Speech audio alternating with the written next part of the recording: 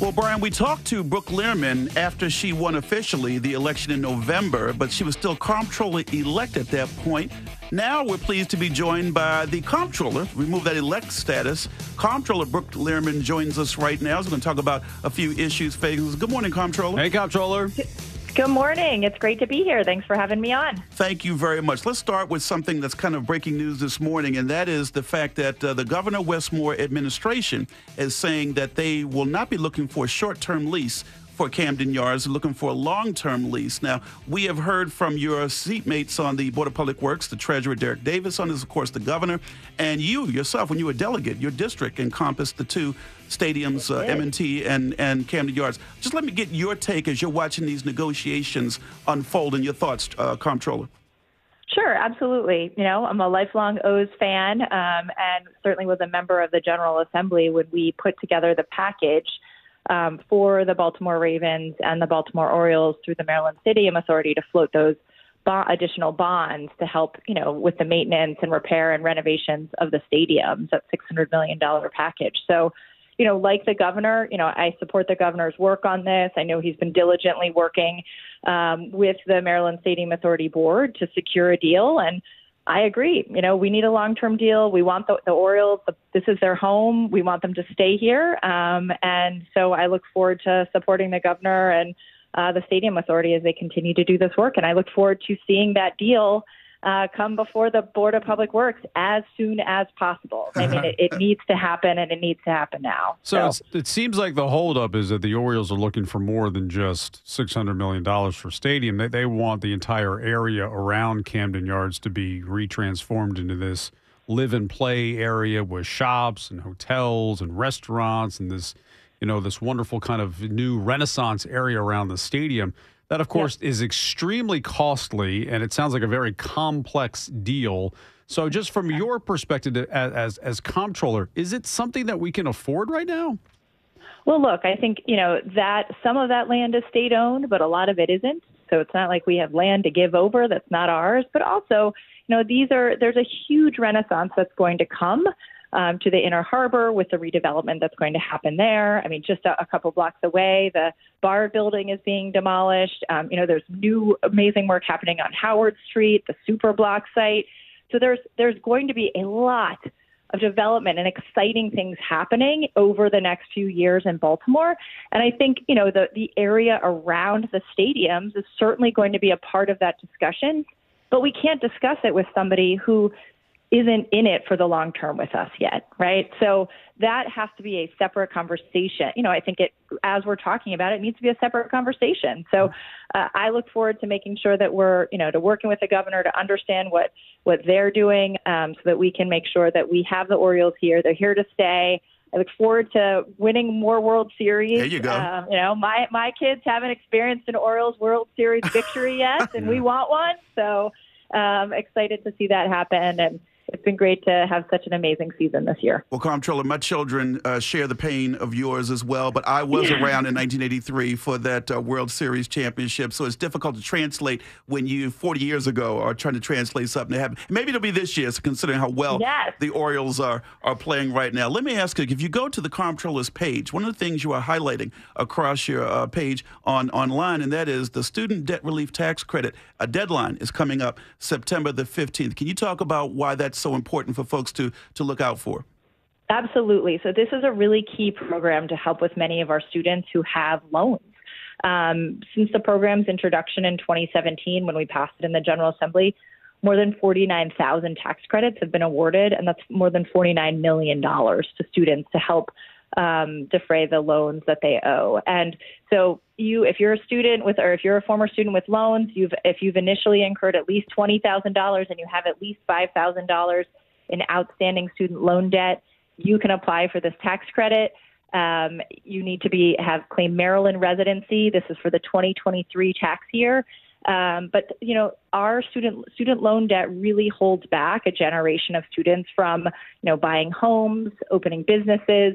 So we want to make sure that you know we're supporting those students um, or former students as they enter into the workforce in the world, so that they can become financially prosperous as well. The governor warned the county executives at MACo that uh, there was going to be discipline needed in, in future budgets, and he might have to say no to some projects, mm-hmm. and that the economy was not growing at the rate of spending. I am curious from your perspective, do you see it that way, and how are things? Would you describe them as as bad, as as good, as uh, you know, Goldilocks, just you know, just right. How would you describe the economic conditions, and do you agree with what the what the governor had to say at MACo? Yeah, absolutely. No, I thought it was important for the governor to level with people, right? I mean, we've got to be real about the situation that we find ourselves in. For the past couple of years, there's been a lot of money because of ARPA, you know, because of federal COVID relief programs, and that money is not available anymore. And so we need to work together to make sure that we're spending uh, how we're spending our money is with an eye towards the long term, right? Long term, like needed investments that will spur more economic growth. Um, so in March, I chair, as the comptroller, I chair a board called the Board of Revenue Estimates. And this is a board that, as the title suggests, it estimates how much revenue we're bringing in and how much we will bring in. And that's what we base our, base our whole state budget off of. And we announced a downward adjustment to our revenue forecasts. um, and the phrase that I use that I think is still applicable is that we saw a flashing yellow light, right? That this was what we saw then in our forecast was a flashing yellow light to all of us regarding our economy due to the effects of national inflation, um, due to the fact that our economy seems to be underperforming in terms of employment and consumer spending. Um, and that explains a decrease in sales and use tax as well. So, my office, um, we're really excited. We've been traveling around the state um, over the past four months, working with our Bureau of Revenue Estimates and our policy team, and we're going to be releasing a report um, this fall on the state of the Mar- of Maryland's economy that we hope will provide some more context to the governor, the General Assembly, local leaders, and just all Marylanders to understand where our economy is and where we need to be working and focusing. One of the things that you highlighted about early this month at one of the Board of Public Works meetings is something that I remember. It used to be part of the old 44th di- district when I was in legislature. Now it's part of your old district, the 46th, and that is the Bard building with the BCCC building downtown and the demolition of that. The Board of Public Works voted to demolish that building. Talk about why that's important, particularly for the development of that area downtown in Baltimore.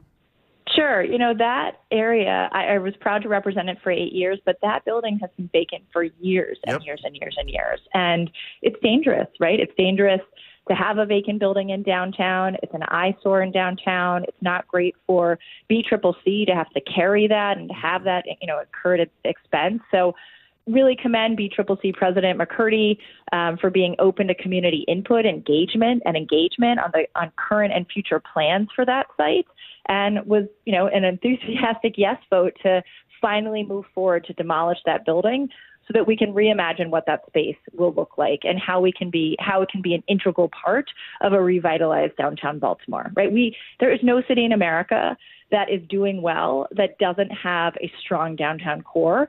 And so we just have to make sure that we are leaving no block unturned, that we are working it in every block to make sure that we're utilizing them and investing in them in the best way we can.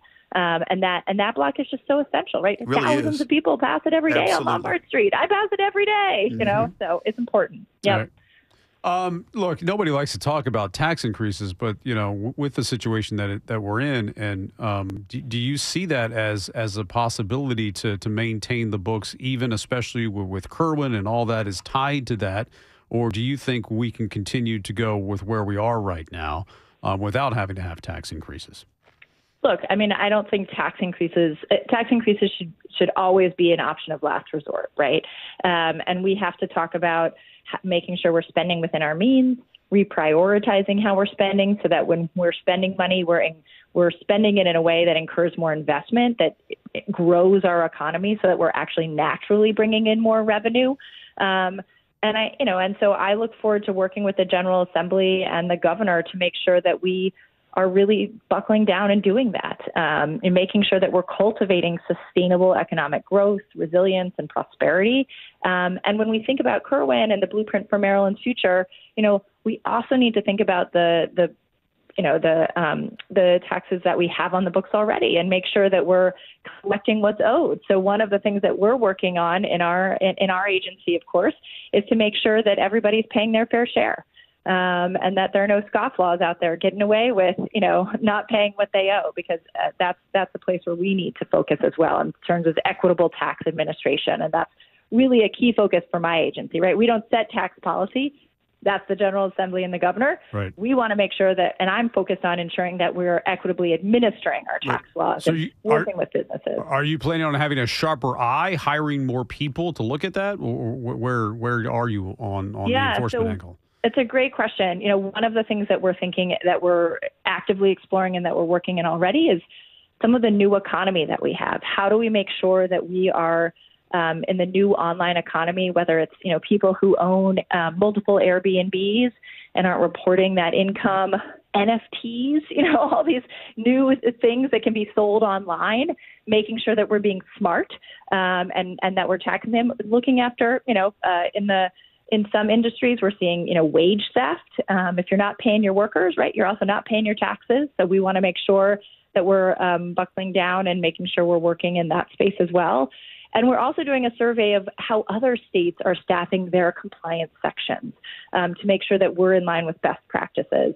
So, working with the Federation of Tax Administrators to gather data on what other states are doing as well, so we can make sure that we're doing everything that we should be. We're talking with the comptroller of the state of Maryland, Brooke Lierman. And I do also have to ask you, because it's breaking news this morning, comptroller, about the Baltimore City Police Department releasing its after action report on the mass shooting at Brooklyn Homes. Once again, another part of your old district that used to represent yes. when you were in the House delegates. And my question really goes globally to the conditions that are around Brooklyn and that part of the city. Can you talk about just, you know, this mass shooting and how you view what Brooklyn needs moving forward to try to deal with this? Absolutely. You know, it was an honor for me to represent Brooklyn for eight years.